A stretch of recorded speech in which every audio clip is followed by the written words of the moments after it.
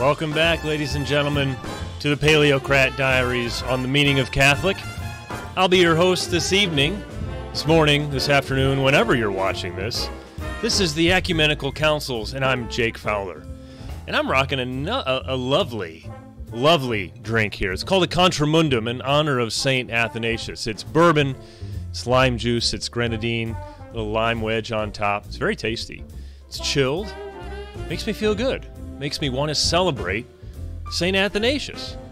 Today's my kid's birthday, too. We named him Benedict Athanasius after this great saint. So, another reason to celebrate. Man, things are good. Things are going really well. I'm glad we're back. Here we are. This is part 13. If you're coming in and you haven't seen anything up to this point, I want you to stay for sure. Get a feel for how we do things here. I walk us through the ecumenical councils. We're in about the year 640, 641, somewhere in there. We're coming up on the sixth council, but we've already been through Nicaea, Constantinople I, Ephesus, Chalcedon, and Constantinople II. And so after you're finished today, I would invite you to check out my playlist on the meaning of Catholic. As a matter of fact, Jeremiah set me up a playlist on his channel on Paleocrat as well. You can check it out there uh, in addition. Okay, before I turn down the music, I just want to remind everybody to like, share, subscribe, comment, do all of the things. It really does help. It helps our analytics, boosts our numbers, get our gets our videos in front of more people. And so we can have a greater impact. That's part of the goal here is to reach a broader and broader audience to bring the truth of the Catholic faith to more and more folks. All right. Here we go. Down with the music. Pleasant though it is. Okay. So, I left you last time, and we, we were discussing the final days of the Emperor Heraclius. He was a Roman African. He was actually from the East, but he lived in Roman Africa. He was a very able general. His father had set him up with an army. He marched on Constantinople, and he took the throne from who uh, was previously Emperor Phocas, who was himself a usurper. So Heraclius comes in, and he's, uh, like I said, very capable military commander. He wins a number of notable battles against the Persians. He reclaims the Holy Cross, and he lives out his days, over 30 years of imperial reigning, in relative security. When he died in February of 641, his son, Constantine III, ascended the throne, but he was sickly and he was dead by May. However, before Constantine III died, he confirmed to Pope John IV that he would, in fact, remove the declaration that Sergius of Constantinople had put into effect. I'm referring to the Ekthesis. This is that document that Sergius, who was the patriarch, had written up.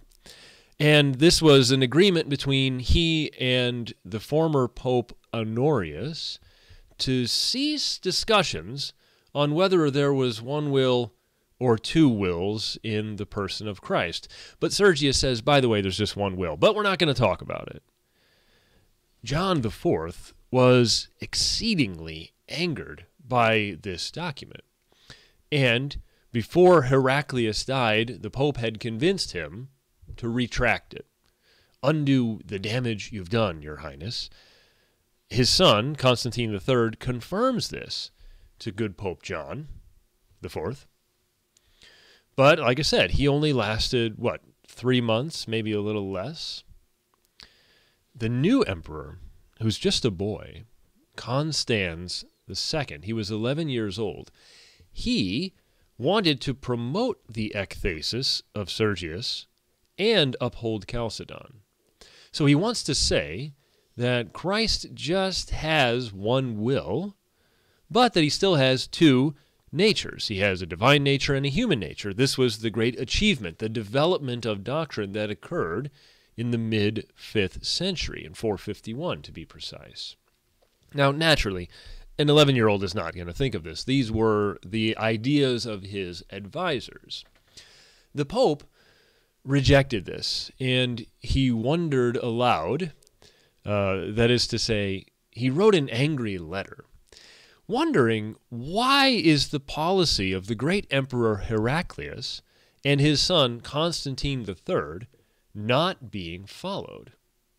And the Pope at this time is not John IV, but a man named Theodore.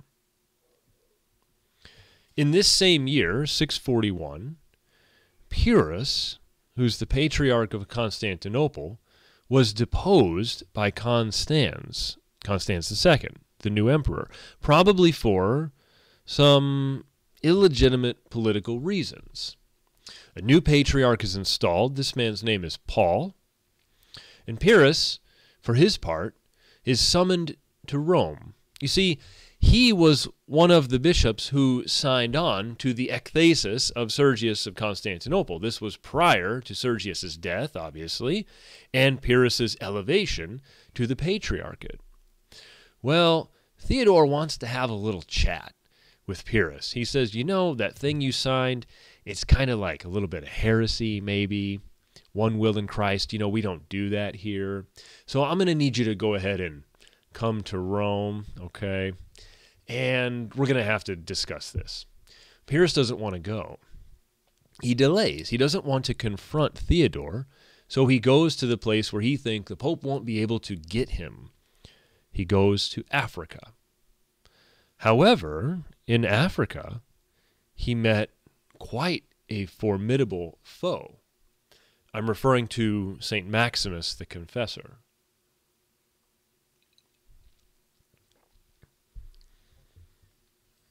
Before I continue with St. Maximus, I have got to say something about the rise of Islam.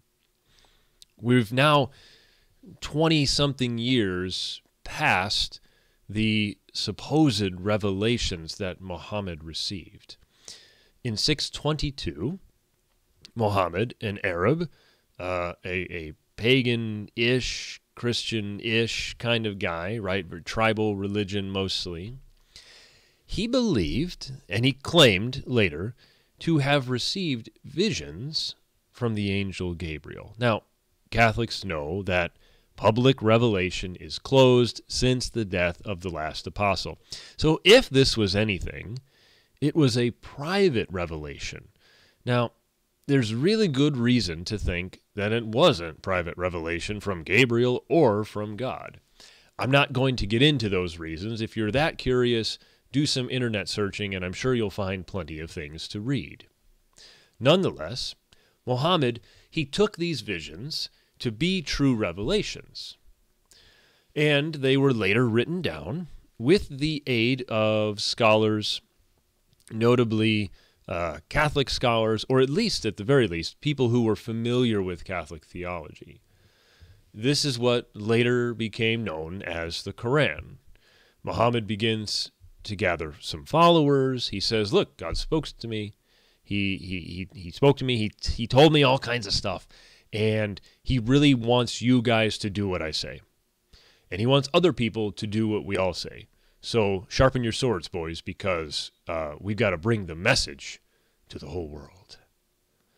So he gathers these followers. He convinces them that he is the prophet. And they do what any prophet normally does is they start making war on their neighboring tribes.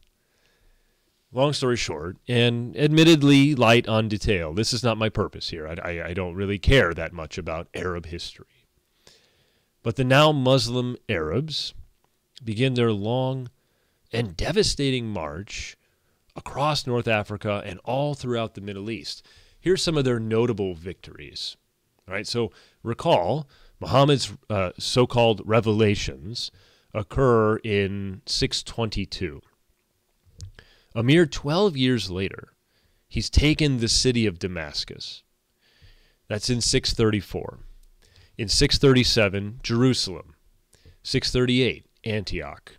639, Palestinian Caesarea. 641, Babylon. 642, Alexandria. And by 651, nine more years, the Arabs are at the doorstep of India. They're on the Indian frontier. They're spreading to the east, they're spreading to the west. Most of the territory that they gained back then has been held ever since. You know, a couple ebbs and flows here and there. But in general, beginning in the first half of the seventh century, right? 630s is when the, the war starts. The Muslims have taken territory and have held on. And that's why they're still a force today, right? And I don't mean to say that Muslims are violent. I'm simply pointing out the history of the matter. Okay, back to St. Maximus the Confessor. He was born to a noble family in Byzantium in the year 580. His family was actually very close with the Emperor Heraclius, or, or the family of the Emperor Heraclius. And Maximus himself served as a clerk in the court of Heraclius while the former uh, was still alive. His monastic experience is a bit of an odd one. He didn't stay in one monastery. He sort of wandered around. Uh, so the sources that I was reading says he went from Cyzicus to Carthage. So from east to west, he was fleeing the Persians. Uh, this would be under the reign of Heraclius when the Persians are just tearing through town. You know, they're they're taking up territory left and right. Prior, obviously, to Heraclius's notable victories against them. Well, Maximus ends up in Roman Africa, right? So consider um, not Egypt, but a little further west, sort of maybe just south of Italy, the, that central northern portion of the continent. Maximus was an extremely learned man. He was one of the most brilliant men to ever live, uh, and he stands out amongst his peers. He was one of these displaced Greeks, right? So a lot of settlement occurred because of the wars and the conflict, not only with the Persians, but now with the Arabs. Easterners move to the West. They don't ditch their Eastern customs and their Eastern learning. They just live in the West now. And this is Maximus is one of these guys. He brings Byzantine theology to Africa, to Sicily, and eventually to mainland Italy. According to uh, Father John Meyendorff, a very well-read scholar, notable, he says, quote, "It is impossible to understand the whole of Byzantine theology without becoming aware of Maximus's synthesis." So what Father Meyendorff means is that you can't get a picture of Eastern theology that doesn't include St. Maximus. We could make the same argument for any of the church fathers, really, but in a particular way, the brilliance of St. Maximus really shines through in the seventh century because he is the brain behind the quest for orthodoxy surrounding the question of one or two wills in the person of Christ. So, what is this synthesis? For Maximus, the question of one operation or one will in Christ versus two operations or two wills in Christ is solved by looking at natures. Now, we know from the Council of Chalcedon and from apostolic tradition that Christ has two natures. He has a divine nature and a human nature. And so, what are these natures? Well, these natures are a really existing thing that make themselves known to the rest of the existing things in the world through their action. Right? So the the adage uh, sequitur esse comes to mind. That's action follows being. Meaning if something is, it's going to act on the things around it even something like a rock. What does a rock do to the things around it? Well, it occupies space. It presents itself with a certain size, shape, color, texture, and so on and so on. So a rock is obviously an inanimate object, so it itself isn't doing any actions the way an animal or a human would. But that's not exactly the kind of action we're speaking about here. We're talking about something's being manifesting itself in the way it is, right? And if you can point to the way something is and identify this is these are the acts of the thing, then you have an indication of what that thing is. Well, we can do the same thing in reverse. If we know that something exists, well, then we can logically conclude that it must act. It must have its own proper acts. And this is what Maximus did. He says, I know that Christ has two natures. He has a divine nature and he has a human nature. Well, if that's the case, if there are two truly existing things, then they both must have proper actions, proper operations. Hence, two operations in Christ, two wills in Christ. A human action is done by human willing. Christ couldn't have been without it. He must have two wills. We know he's got a divine will because he shares in the Godhead. And now we're certain that he has a human will because we're certain that he has a human nature. But there arises a problem. How could we say that there are two wills in Christ without running into the issue that from time to time they might be opposed to one another? Because we all know that the divine will and our human wills aren't always on the same page, right? The fault is ours, clearly. Nonetheless, there's a bit of a gap there that develops, okay? And for some of us, it, it kind of lingers. Maximus explains that Christ had what he calls a natural will, and he wants to distinguish this from what he calls a gnomic will. That's G N O M I C. It's the anglicized adjectival version of a Greek word, which means inclination or intention, something like that. Maximus identifies our human wills as gnomic wills because they're inclined to sin. We, we have a will that we've inherited, our human nature comes down to us post original sin. We don't have the pristine state of existence that Adam had prior to the fall, but Christ does. Christ is perfect man and perfect God. His will, his being, is untainted by sin of any kind. And so his will is a natural will, not subject to the wiles of temptation and concupiscence, least of all sin. We know that from Hebrews 4:15. He's like us in all things except sin. And so, if Christ has this natural will, that means it always chooses the highest good without hesitation, since it's not encumbered by the stains of sin that we experience. A gnomic will, on the other hand, the kind we have, is affected by temptation. We, we do have hangovers from the fall. We do have concupiscence. Gnomic wills, like ours, do not always choose the highest good without hesitation. We don't always choose the highest good, period. We're not perfect in our freedom. If you were perfect in freedom, you would always choose the best thing. And what's the best thing? Well, God and the virtues.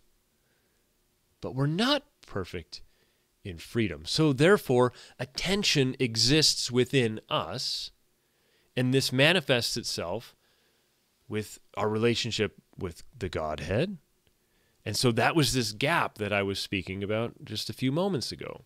It seems like our wills are in opposition. It's because they are, but that's our will. That's not Christ's will. Now, someone could object well, if his will isn't like ours, then how are ours redeemed? It's a, it's a pretty good objection, I think.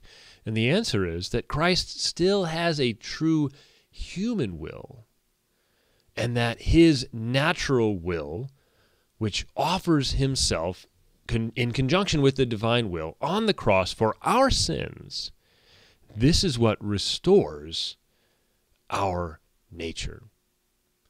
He brings us back up, opens up the possibility to bring us back to where we were. Okay? We're going to suffer. We're going to fall from time to time, inevitably, it seems, anyways. And yet, so long as we repent, so long as we strive day in and day out, God willing, we can enjoy the beatific vision. Our wills can be perfected. They can become natural wills once more, perfect in their freedom, that choose always the highest good with no hesitation. That's heaven, my friends. That is heaven. We know Christ was sinless. Therefore, again, as I've said, he had a natural will, and it was always in harmony with his divine will. This is the great synthesis that Maximus worked out and bequeathed to the church. We owe him so much, so much. It's a beautiful explanation of Christology. It maintains the Father's principle uh, that that which was not assumed was not redeemed, and it solves the problem facing the church at this time in the mid 7th century, the monothelite heresy, that Christ only had one will or one operation. Maximus says, no, no, no, no, no. You've got it all wrong. It's two. And he's got the arguments to back it up, right? And he's got scripture and tradition on his side too. So it's like, you know, pretty much a done deal. Okay, so Maximus is living in, in Roman Africa. And Pyrrhus, the now deposed patriarch of Constantinople, was fleeing from having to meet with Pope Theodore, and he goes to Africa. And what do you know? He runs into St. Maximus. Pyrrhus was apparently swayed by Max- Maximus's theology. But there may be more to the story. There always is. There was, you see, in Africa at this time, a certain general. His name was Gregory. Gregory was the imperial exarch. Uh, that's sort of uh, like a governor of sorts, like a regional governor, right? Pretty powerful. Um, not an emperor. He wasn't like a Caesar of the West or something like that. He he's definitely uh, working for the emperor Constans II. But he enjoys a lot of power. He enjoys the support of, of his army that he has there, right? And Gregory happens to be Orthodox Oh, and by the way, Gregory happens to be planning to take an army to Constantinople and overthrow Constans II and make himself emperor. Pyrrhus, the displaced patriarch, he finds all this out. And he thinks, you know, there's a chance this might work because, after all, that's exactly the same thing Heraclius did. Just like 35 years ago. So it's not out of the question that a general from Africa can march to Constantinople, depose the emperor, and set himself up and have a very long and successful reign. Maybe I need to throw my lot behind this Gregory. But Gregory's orthodox, and Pyrrhus, at least on paper, is a heretic. He signed the ekthesis of Sergius of Constantinople, the monothelite document that says Christ only has one will, one operation. Well, Pyrrhus is cunning. He's very clever. And he arranges a public debate or it, maybe he doesn't arrange it, but he participates in this public debate between he and Maximus. And at the end of this debate, he's somehow convinced that, oh, he's been wrong this whole time and Maximus is right, and I submit myself to the judgment of the faith, to the judgment of the church. And I'm going to go to Rome and I'm going to speak with Pope Theodore and I'm going to recant the ekthesis, my signature on that God-forsaken document.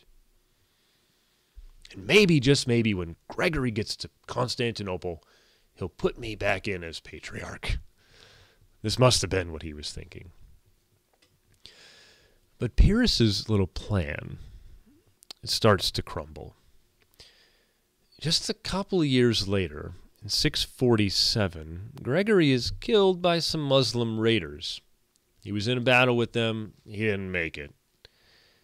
Pyrrhus finds himself once more in court at Ravenna. This is in northern Italy. This would have been the uh, not not exactly the secondary capital, but this is sort of like the administrative HQ for the Byzantine Empire in the west.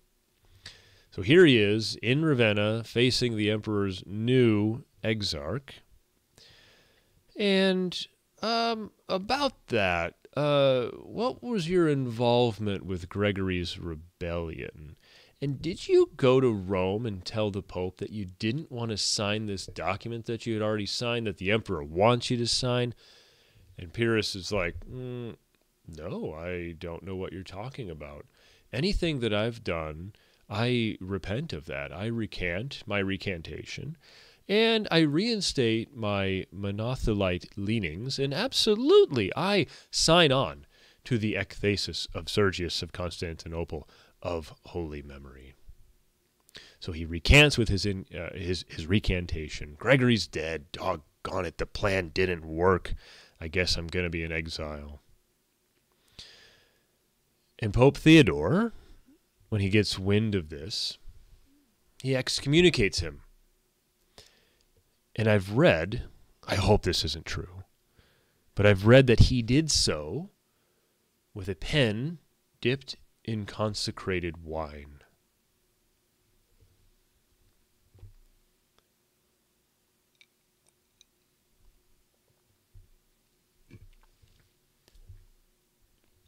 Theodore spent a few years in communication with the new Patriarch of Constantinople, Paul. This was the guy who was installed before Pyrrhus's official excommunication by Rome. Constans II had deposed him because of political what have you. Didn't like him, basically. Paul sent a profession of faith to Theodore, and he doesn't mention the ekthesis of Sergius, and he doesn't mention the question of one or two operations or wills in the person of Christ. However, in 648, Paul eventually outs himself as a monothelite heretic. And immediately, Theodore excommunicates him as well. In response, Paul put the imperial legate, excuse me, the papal legate, under interdict, meaning you can't receive sacraments in this archdiocese.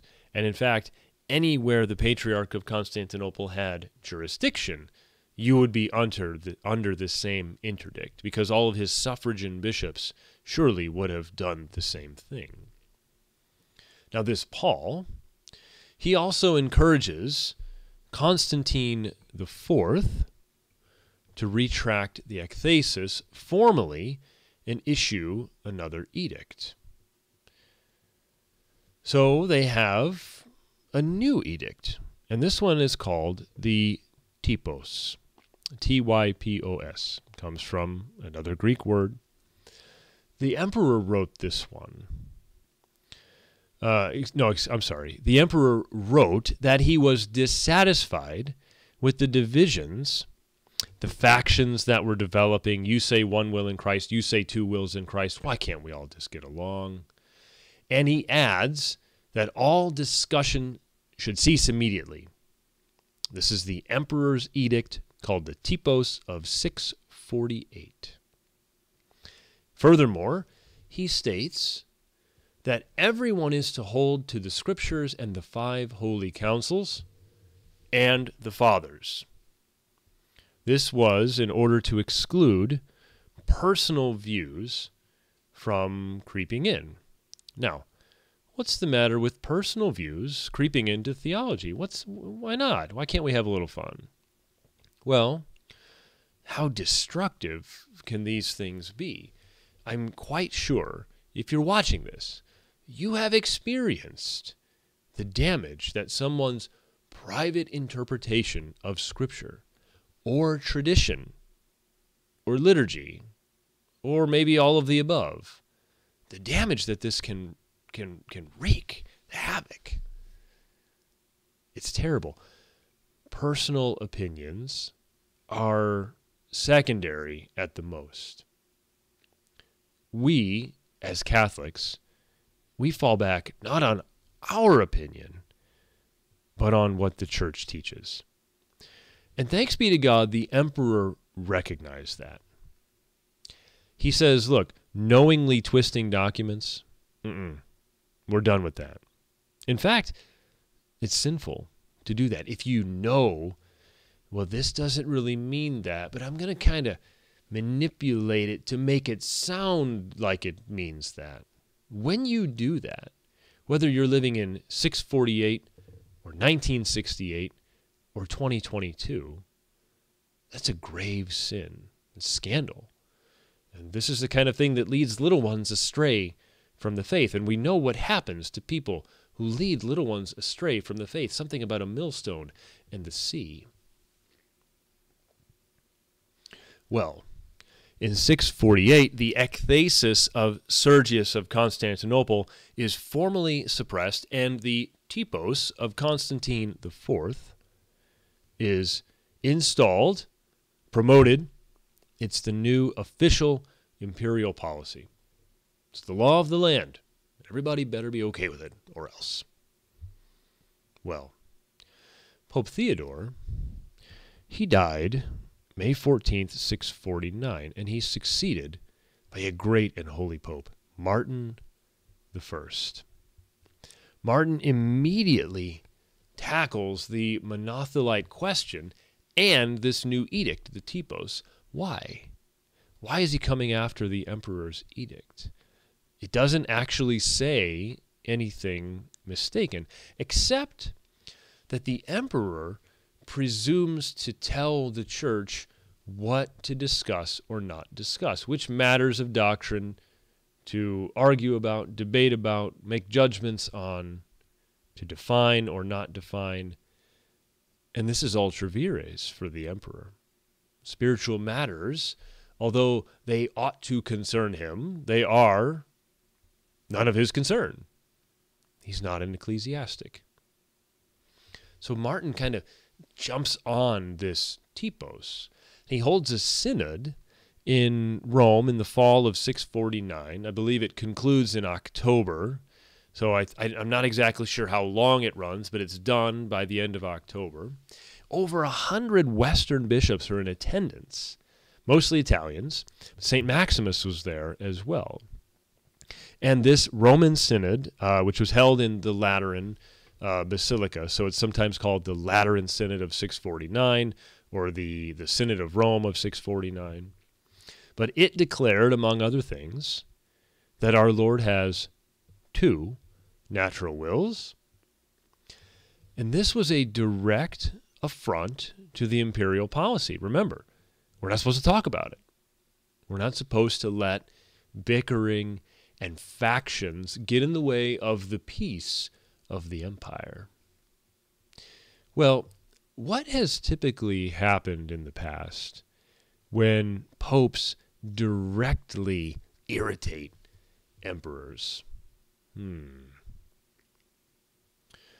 Olympius, the new exarch, is instructed by the emperor to enforce the edict, enforce the typos. Oh, do you mean to say Martin and about a hundred other bishops are violating my order not to discuss the question of one or two wills? Well, Olympius, I'm ordering you now to march to Rome and enforce this law. So Olympius does.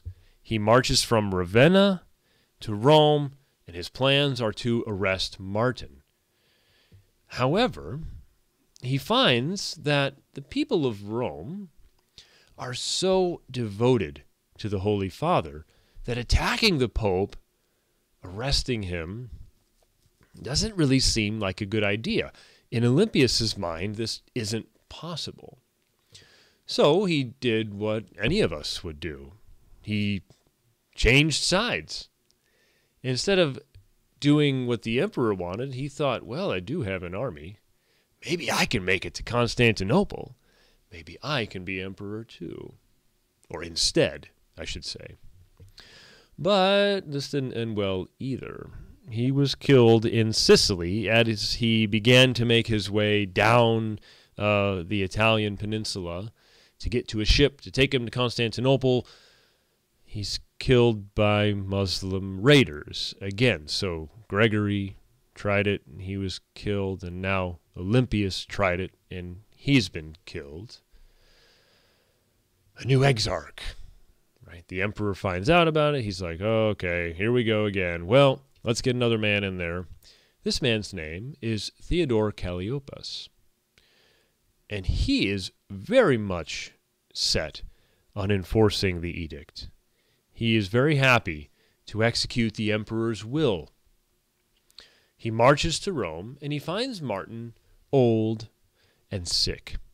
That seems to be the perpetual condition of the popes, doesn't it? Old and sick. Or at least kind of old and kind of sick, if not always both. Anyway, he arrests Martin and he has him transported, roughly, I may add, to Constantinople. However, before they left, Martin got Theodore to agree to let some of his entourage join him in Constantinople. They were going to accompany him on the journey. They want to make sure the Holy Father is comfortable and that his interests are provided for. I'm not exactly sure what they were expecting. Um, Theodore Calliopas, the exarch, he's okay with this. He says, Well, all right, I guess we can have a few of your friends join us on the boat. That will be fine. And Martin says, Whoever wants to volunteer, you're welcome to come with us. And if you don't, no hard feelings. I understand this is going to be a rough journey. We're not going to be treated well. I'm under arrest after all. Well, word spread. And the group of travelers grew so large that they wouldn't have fit on the ships. In fact, Theodore was concerned that if we let all these people join us, there are more of them than there are of us. They'll mutiny, they'll rebel, they'll take over the ships, they'll kill us all. So nobody gets to go. You blew it. Martin, you blew it. You said a couple people, now you got like a ton of people that want to go. Now we got nobody. Martin was taken with no entourage on a ship to Constantinople. Upon his arrival, Pope Martin was ill with dysentery. This is in the, I, sh- I should have mentioned the year. This is, I believe, around 653.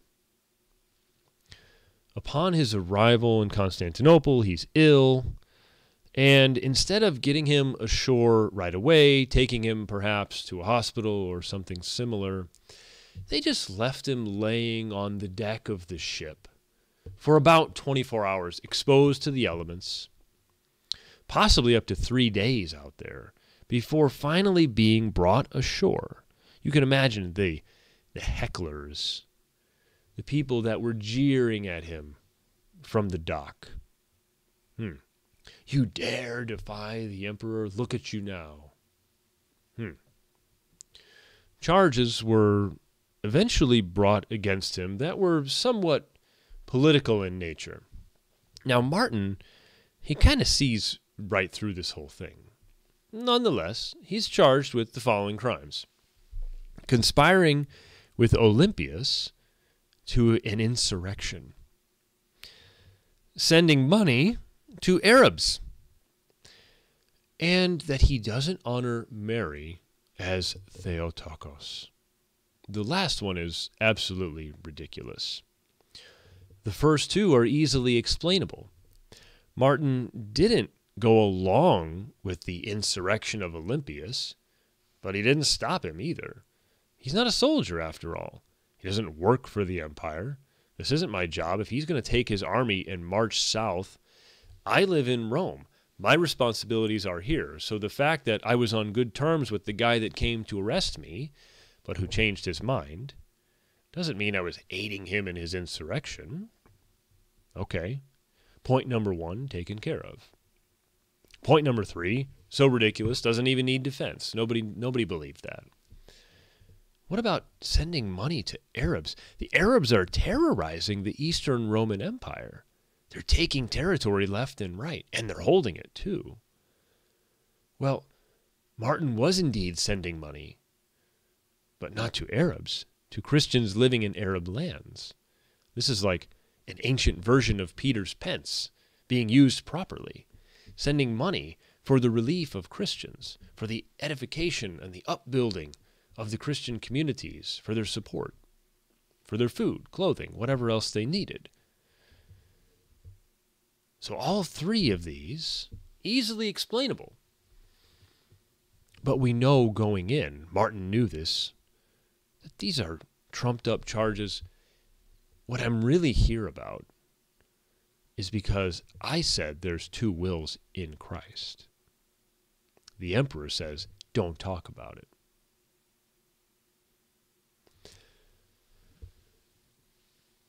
It was the will of the emperor that Martin be brought down.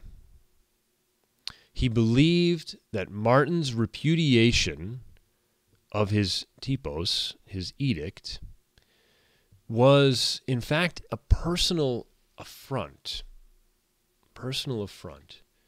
His refusal to cease discussion on the monothelite question is obviously indicative of Martin's great disrespect for the person of the emperor. Now, he was clearly more concerned with avenging himself, what he perceived as personal insults, rather than upholding any sort of doctrinal orthodoxy. But Martin, again, he does what he can. It doesn't end well. During the trial, Martin sort of um, wryly comments that the prosecution should not have the witnesses testify under oath because they are so well prepared that for them to lie under oath would imperil their mortal souls. And if it pleases the court, would they be just allowed to testify not under oath so that when they tell their lies, they can repent of them later? In spite of all this, Martin was not able to participate very much at his trial. It was conducted in Greek. He only knew Latin. Well, he did know enough Greek to know what was going on, body language, and you can pick up a word here or there, but he was by no means fluent. And remember, he doesn't have his entourage, he doesn't have his advisors and his translators. When Martin begins his defense, he immediately goes to his condemnation of the typos and the heretical doctrine of one will or operation in the person of Christ. But he's immediately cut off. And at this time, he must have realized that there is no hope. There is no hope. These trumped up charges, they're, they're just a dog and pony show. I know why I'm here. They know why I'm here because when I bring it up, they won't let me talk about it. And just do with me what you will. He denies any involvement with Olympius. He denies sending money to Arabs. He denies, obviously, disrespecting the Virgin Mother of God. And he says, just whatever sentence you're going to have, just have it. Martin was sentenced to death. Now remember, he's old and he's sick. And it's been made worse by his treatment by the imperial officials. Roughly transported from Rome to Constantinople, left on the deck for a day or two or possibly three. He must have viewed his death sentence as a reprieve, finally, an end to sufferings. Hmm. Not so fast. The sentence was commuted. Exile instead. Paul, the patriarch of Constantinople, probably intervened and put a bug in the ear of the emperor. Paul himself was sort of old and maybe a little bit of dying and when the proceedings of the trial of Pope Martin were brought to him, or told to him, I should say, he was mortified. He says, Yet another thing for me to atone for. Why would he say that? It's kind of strange. He really didn't have a hand in any of this. Well, it's my understanding that Paul knew that as the spiritual father of the people of Constantinople, in particular the emperor, that he's responsible for the decisions and the actions, at least to some degree. Maybe not totally responsible, but he has some share in what his flock does, his spiritual children. So exile was suggested, and exile was carried out. Off went Martin to the Crimea. He was subject to further rough treatment, including near starvation. While in the Crimea, the people of Rome did something rather odd. In August of 654, they elected a new pope, Eugene. But Martin's still alive. And Martin hasn't resigned. Why would we do this? Three plausible explanations. Number one, perhaps the Romans doubted the validity of Martin's election. The reason for that would be because he wasn't confirmed by the emperor or the exarch in Ravenna. And that's what you did back then. The people didn't really know otherwise. Obviously, we don't expect that now, but they did at that time. And so, because Martin's election was never imperially confirmed, was it valid? Was he actually the Pope this whole time? Number two, Perhaps the Romans, finding out that he was exiled, maybe they thought he was already dead. Maybe they thought, well, surely Martin didn't survive the journey from Constantinople to the Crimea. And if he did, surely he didn't last long in the Crimea. After all, he was being treated very roughly, and he was old, and he was sick. Maybe they thought he was dead, and they didn't realize, they, they just didn't have any other choice. We need a pope. We need somebody to be the principle of unity, somebody to lead the Roman diocese, for that matter, in the city of Rome. This seems to me to be somewhat unlikely. Plausible, certainly possible. But wouldn't a simple letter have confirmed for them whether or not Martin was still alive. You couldn't just write to someone, maybe locally. Have you seen Martin around? Hey, you know, the Pope, um, head of the Catholic Church. Yeah, that guy. Um, is he still with us? That's why I think this option two is somewhat unlikely. Option three Perhaps they felt the situation was hopeless. They knew Martin wasn't coming back. And again, they need a leader. They need a pope. We need a shepherd to guide the flock. What choice do we have? We have to do this. How long is he going to be gone? We don't know. When's he going to die? We don't know. When are we going to find out? How long will it take for news to get back? We don't know. So maybe we should just go ahead and, you know, sorry about that, Martin, but Eugene, would you like to be Pope? This could be. I think options one and three make the most sense. Whichever it is, and we may never know, Martin died on the 16th of September in the year 655. To this day, he is venerated as a martyr in the liturgy. Now, Pope Eugene, whether or not he was anti Pope Eugene prior to the death of Martin, is a moot point because upon Martin's death, Eugene is the valid Pope. He's the legitimate successor of Peter, and he's a, somewhat more congenial a man than Martin was. He sends legates back to Constantinople. He wants to reopen uh, lines of communication with the emperor, and there's a new patriarch, Peter. He wants to get on good terms with this guy. And he received, in fact, Peter's letter of election.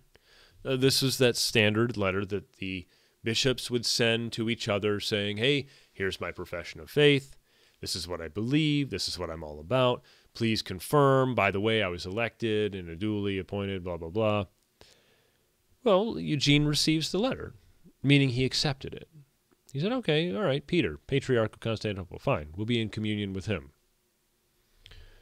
When he read it out, this, this profession of faith that Peter made, when he read it out before the people of Rome, they flat out rejected it and they forced Eugene to refuse communion with him on the basis of Peter's being a monothelite. This was a known fact. Eugene was willing to kind of say, well, maybe it's not that big a deal. Maybe I should let this one slide. Ay, ay, ay. The emperor, undaunted, sends word not to Eugene, but to Maximus the confessor. He sends word to St. Maximus. The letter threatened he and Eugene. And why send it to Maximus in the first place? Well, I think the emperor knew that although Eugene is pope, it's Maximus who's the brainchild of the Orthodox party, right? He's the one who's kind of being the power behind this push for two wills or two operations, right? Constans doesn't see Eugene as the main target. He's a target, but we need Maximus. Here's what he says in his letter. Here's one line I picked out. Speaking to Maximus Know that when we get arrests from the heathen, Muslims, we will treat you like the Pope who is now lifted up, and we will roast all of you, each in his own place, as Martin has been roasted. What's he saying? It's obvious. Constans is threatening Maximus and Eugene with death or exile or perhaps both. But Eugene, lucky guy, he never had to deal with the wrath of the emperor. He died in June of 657 before Constans could really do anything about it. Maximus, however, was not so lucky. And we'll stop there. So, where have we been? Well, we covered a much narrower time frame than usual. We went from 641 to 657. 16 years. We're leading up to Constantinople III. We're engaged in the monothelite heresy. That's that there is one will or one operation in Christ. And our hero, well, we've got a couple of heroes. Martin's a hero. Theodore was a hero. Eugene, eh, kind of. But Maximus, he's our man. Next time, next week, part 14 of this series on the ecumenical councils, we're going to look at what happened to Maximus.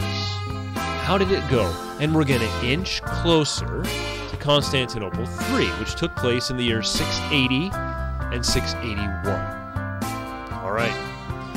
As I sip my contramundum in honor of St. Athanasius, in celebration of my son's birthday, I have to remind myself, I have to remind you all to never give up, to keep on smiling, and to memento mori.